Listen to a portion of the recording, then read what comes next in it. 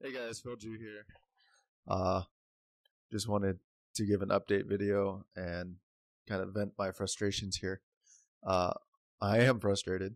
Uh, this dang engine has been put together about a week now. Uh, I have had my share of struggles with the engine, which I was prepared for, but what I wasn't prepared for was a month to two months of waiting for a flywheel. And that is not to anyone's fault.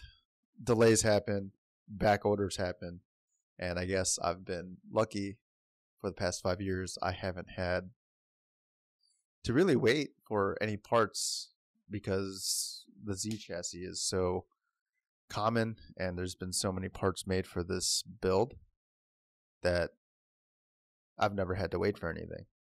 But as I mentioned, I'm at like two months now and I'm frustrated. I've never touched an engine before, as in like opened it up or done it. And I've stripped the threads, and I'll share photos throughout this entire thing. I've stripped four head threads on this thing. Um, that could be due to my incompetence. That could be also due to uh, just maybe I got a engine that was torn into that the previous person just didn't follow the proper steps. But after all that, after all the work I've done, and I finished, and I've calculated that you know I would have to have some time to to put that back together. I'm still waiting, so I'm frustrated. now I don't know what I want to do from here. Um, there's some several things that some several there are several things that I can do from here. Uh, my pylons, um, the the base mount, the foot peg on the backside has cracked, and this isn't the first time that's happened. So another frustration. I have a bit of angle iron, and I'm going to remove the aluminum legs, uh, or the aluminum mount, the footing here. I'll shave it off, and use some angle iron and bolt it in. Now that might that might sound a little sketchy, but uh, that angle iron is going to be a hell of a lot stronger than a aluminum weld, especially a poor aluminum weld that in my opinion they should have welded either both sides so instead of like an L bracket it would be like a like a T bracket. And they're doing that now after so many complaints. But also instead of just welding the top side, they should have also welded the bottom side uh, just to strengthen that. And who knows? Um, that may or may not have fixed it uh, just due to the oscillation in the wing uh, laterally, which can happen. But I'm going to have to fix that. Um, other things that I can do, I can go get uh, hose fittings for my coolant from this to my heater core in the Z. Uh, I would still like to have heat in the car uh, just in case uh, there are humid days and the the windows fog up. And then last but not least, the only other thing that I really need to do is uh, open up the fuel tank and swap the fuel pump and add a return line, which I don't think is going to be that difficult. Um, the only difficult thing is going to be routing it back into the uh, fuel tank. So if there's any suggestions on if I should use uh, steel braiding or not, or uh, just general stuff like that, I would appreciate it. And the only other thing that I can think of doing on that is related to all this is opening up the VQ to see what's happening with cylinder number five.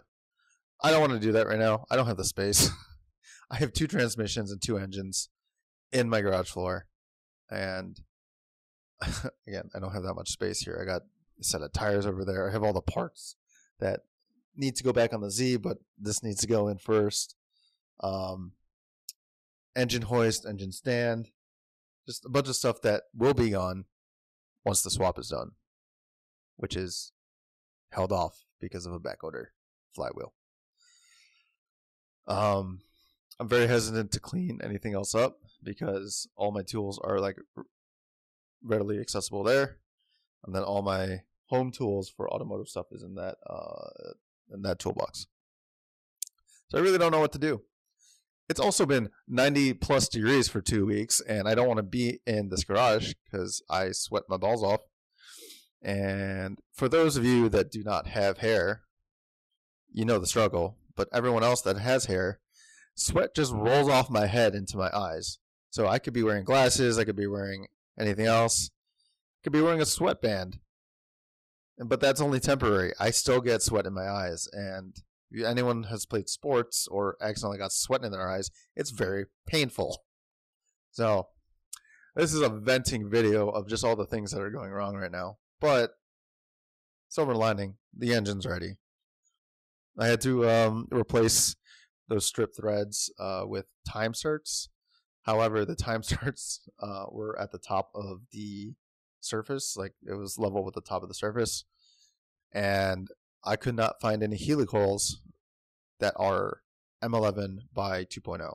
So I had to kind of custom fabricate those Time-Serts to sit in the hole further down, and then so the the head studs that I bought could fit. Y'all can give me flack for that. I don't care. Uh, engine's ready. Everything's clamped down, so I'm not going to have a head gasket leak or blow a head gasket.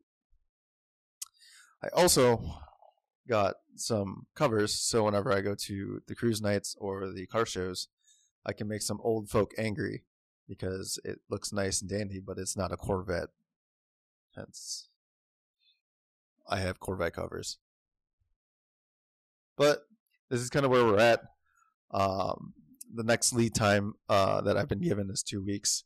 Two weeks from the shipping company to deliver to the distributor, and then from there, the distributor to me. So I'm expecting three weeks, but my hopes are running thin. I'm. I understand that there's delays when you do swaps and whatnot, um, and custom fabrication and what. Like I, I have no none of those skills, so thank God the Drift Boys and the Drag Boys have created kits to swap in an LS. But I didn't think that a flywheel would be my holdup right now. it is what it is. Uh, gives me time to do other projects around the house. Um, maybe I can drywall that. That's probably not going to happen. Um, been painting my first floor, so at least I got that done. It's been a year. Besides that, I, I honestly have no other idea what I can do. I'm just instructing at local events and my only goal is uh, SCCA Time Trial Nationals. So hopefully we make that, and then also hopefully maybe I can go to Pitt Race uh, with SCCA. I love that track. The track is fun, and it'll be better with a lot more power since it's got a long back straight. But that's pretty much it. I'm just gonna close it out here. I'm frustrated, but it's okay. Peace out, guys.